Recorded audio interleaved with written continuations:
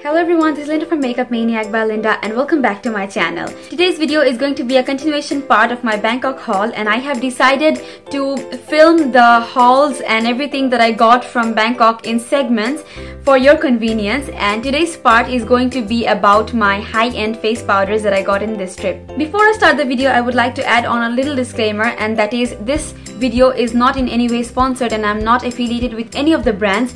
This is my personal purchases and everything that I am going to show in this video are purchased with my own money. Let's not waste any more time and let's just jump into the video. The first product or face powder that I'm going to show is this Chanel face powder.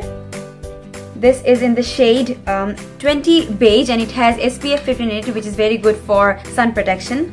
This comes in a luxurious pouch like this. It's a velvet pouch and the actual product is in here and it also comes with a booklet like this. So the actual product um, here it is. It's quite big for a purse but never mind it's a luxury brand. This has an automated closure and opening system so here it is. And it has two sides of it. This has two sides and one side is actual compact on the other side is the puff where you actually keep the puff separated. And you can actually refill the face powder once you get done or once you finish the actual face powder. So the refills are quite cheaper. So in that case it's very convenient. The next face powder that I have is from Givenchy or Givenchy as many of you might say. This also has SPF 20 in it and here is the actual packaging. This has a logo in it and this is quite small in comparison to the other one. Here you can see the puff is this is not actually a usable puff I think. This is just to press on. So it comes with a mirror and here is the actual product. This has a magnetic closure and it's quite fun. This is very small and sleek and very user-friendly I would say to carry in a purse.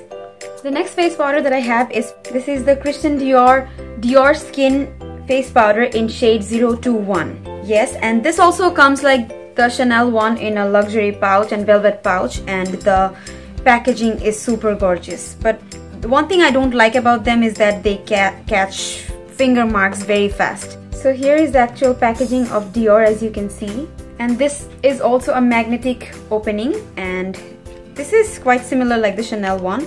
It comes with a plastic wrapper like this and here's the puff and here you can see is the actual all of these are refillable I believe and as these are quite expensive so you can actually get the refills once you finish the compact powder and you can just reuse the casing. The next face powder that I have is from Kat Von D and I also got the Kat Von D foundation and I love this combo. I love the Kat Von D foundation with the face powder and the shade that I have is medium 53. I think this is the same shade as I got the foundation and you can see this is super cute and not cute actually this is very gorgeous I would say. The packaging is so honestly speaking this packaging is what allured me to get this. So this is how it looks and it has two layers so here is a mirror and here is the actual product. And on the bottom layer you actually get the puff. It's like MAC. It's like general compact. So here is the Kat Von D. I just love this packaging. The next face powder that I have is from Too Faced and this is Cocoa Powder Foundation. This is the Too Faced Cocoa Powder Foundation in shade 10 and I don't know what actually allured me to get this or what.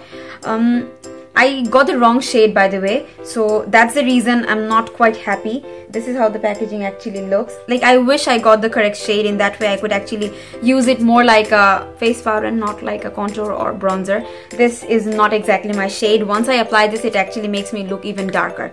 So I'm not I'm definitely not going to use this as a face powder. So probably I would actually use this as a bronzer.